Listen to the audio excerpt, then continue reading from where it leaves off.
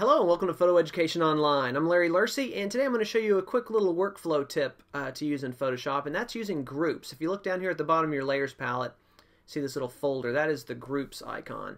Let me show you how that works. Let's take, uh, for example, the, the drop shadows here under the, under the three models. I'm going to turn them off one at a time. You can see them disappear. They're each a separate layer right here. What I can do is I can highlight all three. I'm going to do that by holding down Command or uh, Control on the PC, clicking all three, then dragging it down to that folder. And now it's made a group. I can rename that group Shadows. If I look inside, there's the three shadows. Now what I can do is I can move all the shadows around together, or I can change the opacity of them together, all at the same rate. So I don't have to worry about lowering the opacity of one and going back and lowering the next one uh, like that. So it's really easy to keep things organized. You know, all your shadows are right there in that folder. Let me uh, drop back here to where I was before. Let's say another way you could do it is you could organize it by model. Like I want all of her layers in one place, her and her drop shadow. So I'd say, okay, if I look over here, here's one. I'm going to command click.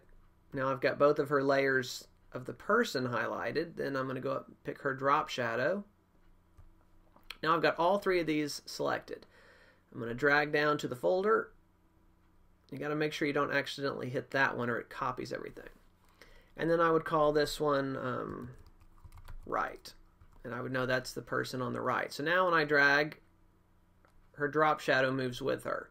So then I can reposition her wherever I want her, and I don't have to worry about changing the drop shadow. So I could do that for each of the people, have them each in their own folder, and uh, move them around like that. So it really is a great way to keep organized um, by keeping stuff, especially when you've got a lot of things. Uh, one layer, for example, if the background is made up of a whole bunch of layers, put them all in one folder together and call it background. And you can always pull stuff out if you decide, you know what, I need that shadow out of there.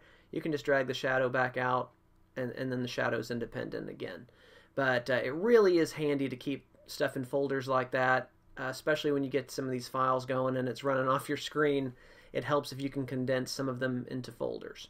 So, anyways, I hope that helps. Give groups a try, and I think you will find it helps you keep a little more organized. So, I hope that helps. If you have any questions, be sure and let me know, and I hope to check back for more tutorials. Thanks. Bye bye.